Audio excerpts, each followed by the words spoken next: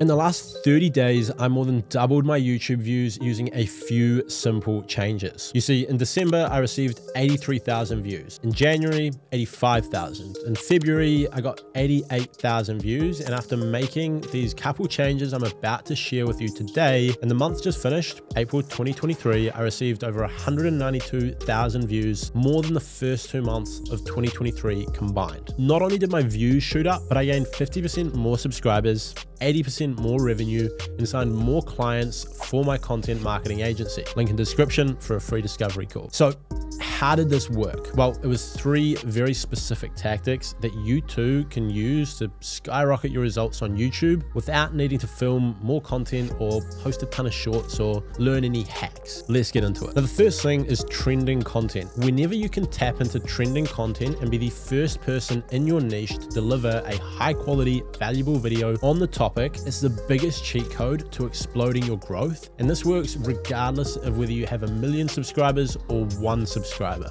Now, for me, this month, it was Meta Verified, a highly debated topic that came out last month. As soon as Mark Zuckerberg announced this feature, I put together a video collecting every piece of information I knew on the topic with my own experience mixed in there and a few opinions. Now, currently that video is sitting at 16,900 views, which is more than the average for my channel, but I still wasn't fully satisfied. So as soon as Meta Verified actually dropped, I purchased the service, screenshotted everything throughout the entire process, scripted out a concise but in-depth video, went to the studio and filmed the best video that I possibly could at the time. And I was the first creator in the world who had a video out there about Meta Verified, walking people through how to do it. This video is now sitting at over 90,000 views. And by the time you watch this, it's probably hit over 100,000 views in less than 30 days of publishing, which breaks the record for my channel by about six months. So jumping on trending topics is by far one of the best things you can do to bring new awareness to your content and your channel because these viewers can then go on to watch your other videos and turn into fans. So you can create content giving your opinion or insight on these topics and it's a simple way to create content without having to think too much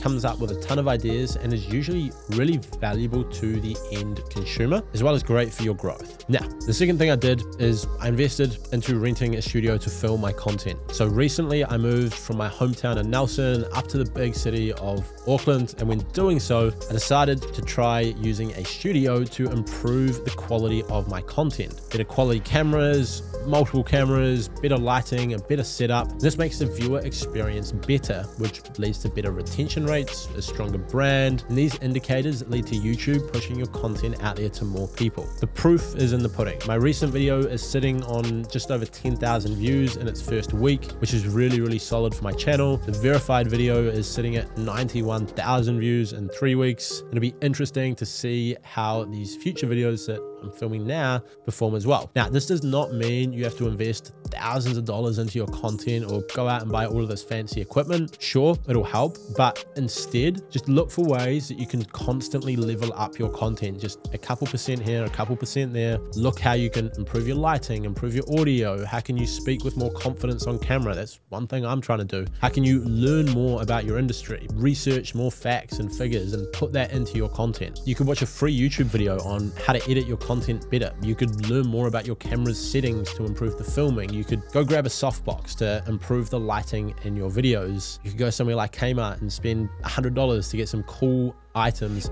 for your set. There's so many different things you do that even on a small budget, you could massively improve the quality of the videos that you're putting out. So start with those free improvements, then add to it slowly and watch your videos become better and better. Through becoming better, you'll get more reach, build a stronger brand, and grow your audience. Now, the third thing that I did that really helped me grow my audience is I invested more time into researching my content. And now this falls under the same umbrella of the last point of creating better content. But I found by spending more time researching my content, the videos I created became better and this led to more views. For example, I stacked the verified video full of screenshots, insights, and details. This took me more time, but when I pull up my analytics, and I'll show you on the screen, 49 seconds into that video, the retention rate was at 113%. This means 49 seconds into the video, the average viewer had already watched 55 seconds, as in they had rewinded parts and watched again, which is absolutely ridiculous. If I can have